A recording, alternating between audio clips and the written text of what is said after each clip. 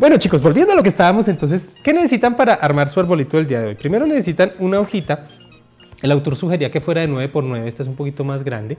Yo quiero que quede con este color para hacer el tronquito de mi árbol. Mira, esto corresponde al tamaño del tronquito de este árbol. Si lo haces con esta hoja, te va a quedar de este tamaño el tronquito. Y esta hoja es de 15 por 15.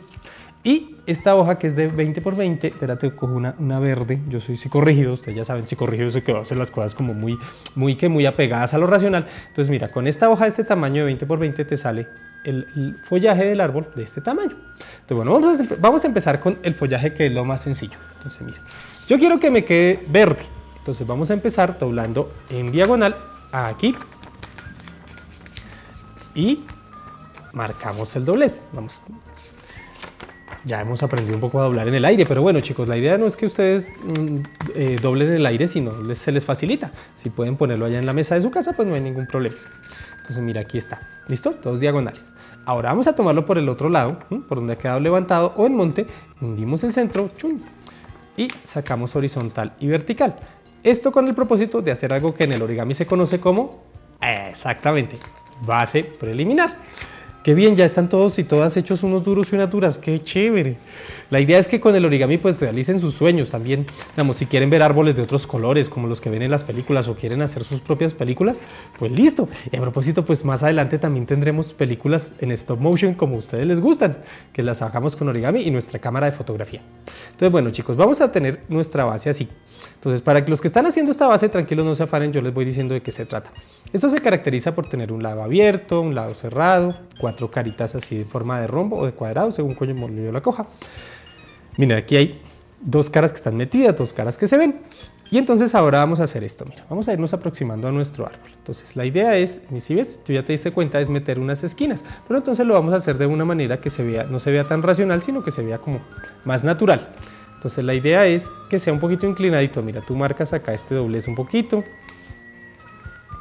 aquí mira, eh, qué chévere, acá, luego marcas este otro doblez acá, eso es para que tú lo veas. Y con esto pues ya tienes guía para hacer las de atrás, mira, entonces doblo esta de aquí y doblo esta de acá. ¿Qué es lo que estoy haciendo? Para que veas que no son trucos ahí que estoy cambiándote las hojas. Entonces no, mira, ahí está. Marcamos el doblez, ¿listo? Pero entonces no lo vamos a dejar así, lo que vamos a hacer es introducir esto. Entonces recuerda que acá desdoblamos y hundimos aquí, mira, hundes acá, aquí esto, aquí por viéndolo, es simplemente introducir esto aquí, esto aquí y estos dos acá.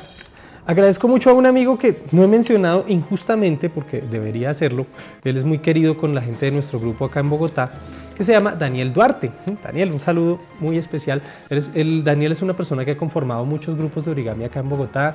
Gracias a él pues existe la Asociación Bogotana de Origami. Muchos de los miembros que estuvieron allí son ahora del, grupo Amigos Plegadores y por supuesto pues también La Vuelta al Mundo en 80 Papeles tiene un extraordinario legado de Daniel Duarte. Entonces, muchas gracias viejito. Entonces bueno, mira lo que tenemos acá. Entonces ya tenemos el follaje de nuestro arbolito, ¿ves? Ahora se debe ver de esta forma. Lo que vamos a hacer es nuestro tronquito entonces necesitamos la otra hojita. Yo quiero que me quede anaranjado, entonces voy a empezar por acá y voy a empezar también sacando dos diagonales y efectivamente haciendo una base preliminar. Pero aquí vamos a ir a otra de las bases del origami que hemos hecho antes.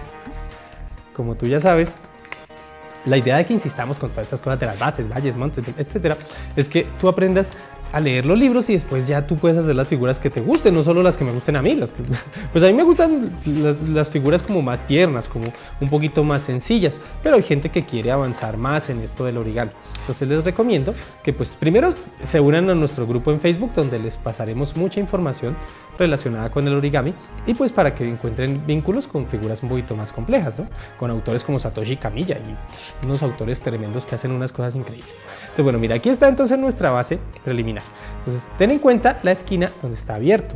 Hacia esa esquina vamos a doblar de esta manera. Mira, coges este borde y doblas acá a la mitad. Ya casi aprendo a hablar la mitad. Sin eso, uy, sin poner la hoja en la mesa, profe, ya estamos aprendiendo, ya estás aprendiendo tú también, los profes también aprendemos. Entonces mira, esto se dobla aquí y acá.